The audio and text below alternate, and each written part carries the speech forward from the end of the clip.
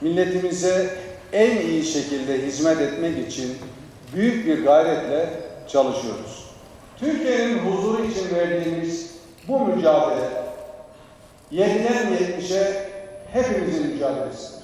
Huzurunuzu ve güveninizi bozan her kim olursa olsun lütfen 112'yi arayın, arayın ve bize. Terörle, çetelerle, zehir tacirleriyle, tüm suç yapılanmalarıyla mücadelemiz milletimizin destek ve dualarıyla amansız bir şekilde devam edecek.